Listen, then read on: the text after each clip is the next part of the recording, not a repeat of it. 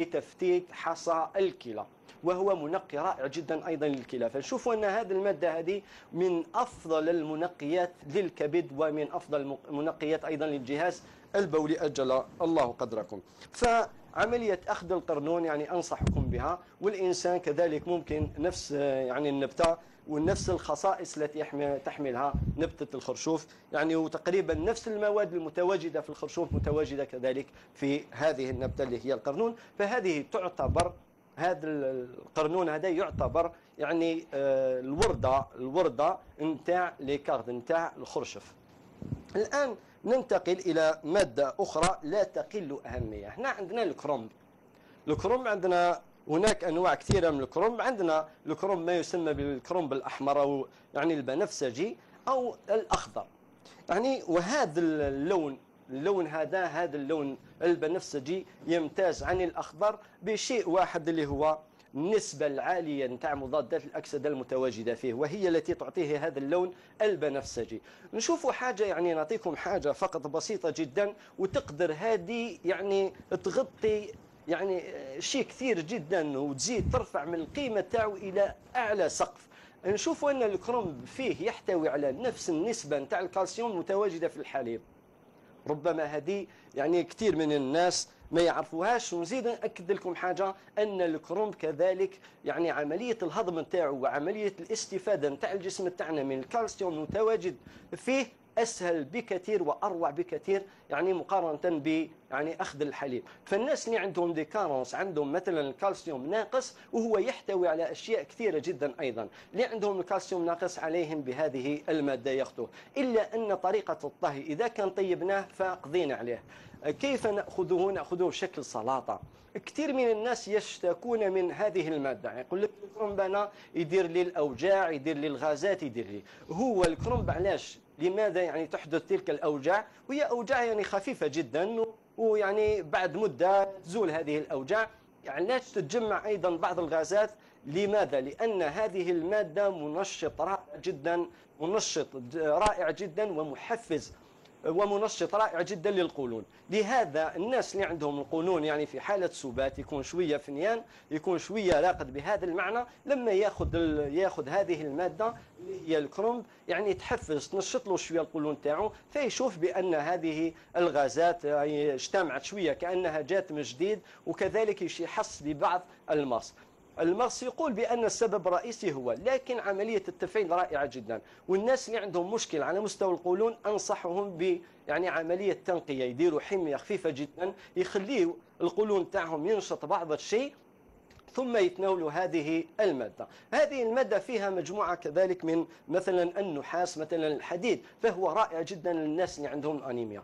لكن قلت الطريقة المثلى في أخذه هو أنه يؤخذ ني. لهنا بالنسبة لي هذا الأخضر مقارنة مع الأخضر هذا يمتاز بلا فيتامين ك ويعتبر من أغنى أغنى الخضروات في فيتامين ك يعني والناس اللي منصوحين يعني من طرف الطبيب اللي نصحهم الطبيب تجنب يعني المواد اللي فيها غنية بلا فيتامين ك يعني يتجنبوه. لكن الناس اللي ما عندهمش مشكل مشكل فعليهم بهذه المادة فهي رائعة جدا ومفيدة جدا. ونشوف أن بعض الدراسات بعض الدراسات بينت وأكدت أن هذه المواد تعتبر يعني منحفة. نتكلم عن الكرم. تساعد في عملية التنحيف. لماذا؟ اولا فيها نسبة عالية جدا من الألياف. فيها نسبة عالية جدا من الألياف وتنشط وتقوم بعملية التنقية.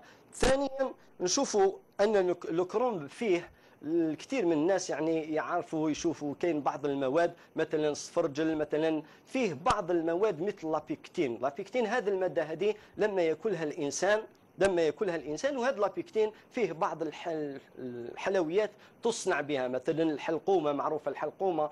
آه، فيه بعض المواد يعني نشوفوها هي لزجة.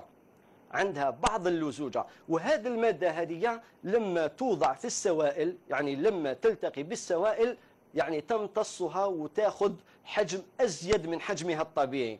لهذا يعني على مستوى البطن تاعنا على مستوى البطن تاعنا أو على مستوى الأمعاء حيث بمجرد أن هذه المواد هذه المادة تلتقي بالسوائل تمتصها وتاخذ يعني حجم أزيد من حجمها وتشعر الشخص بالشبع.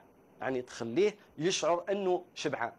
كذلك بالنسبة لهذه الألياف المتواجدة يعني في الكرنب هي ألياف غير قابلة للذوبان في السوائل. لهنا وتم قلت هذه المادة اللزجة. الإكثار من الكرنب يعني أنك تأكل الكرنب بها وهو ني يعني تاكله مدة آه، ما لازمش تكثر منه بزاف. إن كان ولا بد يعني تأكله تقريبا يوميا يحبذ أنك تمزجه مع الجزر حتى ما يكونش عندك ما يدلكش يعني بعض بعض المشاكل على مستوى الأمعاء. لأن هذه المواد اللزجة اللي هي اللي هنا نتكلموا عليها هذه المواد الإكثار منها خاصة الناس اللي يأخذوا لا سوب يعني الحساء نتاع تاع الكرومب بعد مدة دوما يصيبوا روحهم في حالة نتاع carence. يعني آه، افتقار يشوفوا أن الحديد ينقص في الجسم تاعهم يديروا هكذا أنيميا ولو خفيفة لكن لابد من إعطائها الأهمية اللازمة. فأخذ الكرومب قلت مليح أنه لما يطول فيه الإنسان يعني أنه دوما يمزج بالألياف المتواجدة في الجزر لأن الألياف المتواجدة في الجزر سوف تحدث يعني توازنا مع آه، يعني كي نصوصيوها كي نجمعوها مع هذا النوع من آه، الألياف. هنا بالنسبة لهذه المواد والموضوع حول الكبد نشوف أن هذه المواد الإنسان لما يقوم يعني يأخذها ويضيف لها بعض المواد الأخرى يقوم بعملية إراحة. يعني يخلي يريح الأعضاء نتاعو يريح الجسم نتاعو. ونشوفوا بأن الكبد الكبد الله سبحانه وتعالى أعطاه قدرة. ربي أعطاه قدرة باش يسترجع الطاقة تاعو يعاود يبني نفسه. إذا كان عطينا له هذه الفرصة. نشوفوا كذلك بالنسبة للكرومب نعطيكم الآن قلت هذه المواد وفيه مجموعة أخرى. يعني هذه المادتين آه، يفيدوا لكن الإنسان لا يقتصر يأكل غير الكرومب والقرنون. يقول لك أنا رايح يعني نسترجع آه، نخلي العضو تاعي يسترجع الطاقة نتاعو ويعاود يبني نفسه. والآن الآن أنا رايحين نمشيو إلى موضوع آخر. يعني نمشيو إلى موضوع والكاميرا بعد تجوالها في الشوارع في الشوارع. آه، سألت الناس هل الليمون أو عصير الليمون منقي للعين أم لا؟ نشوفوا آه، خويا نسقسيوك. القارص أحيانا يديروه في العين لما واحد يكون عنده يعني التهاب في العين ولا. هل القارص هذايا يفيد للعين؟ في راي إحنا في رأينا إحنا les nouveaux générations إحنا على كل حال ما وكان يدير على حوايج كيما هادو. بصح وشنو على حسب الناس كبار علينا وقدم علينا كما نقولوا جدودنا ومنا.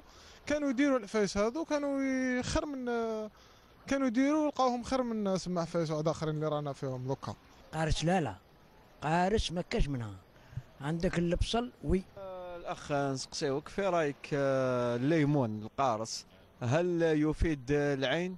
يعني يداوي أحيانا الالتهابات اللي تصرى في العين؟ على كل حال أنا ما جربتوش بصح بعض الناس اللي جربوه يقولوا يعصروه ويصفيوه ويديروه قالك مليح.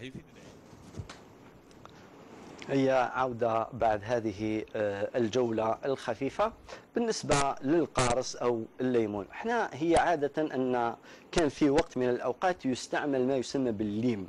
يعني حتى المذاق تاعو ماشي قارص لأن لأن وضع هذه القطرات يعني على مستوى العين يحرق يعني متعب مؤلم أيضا.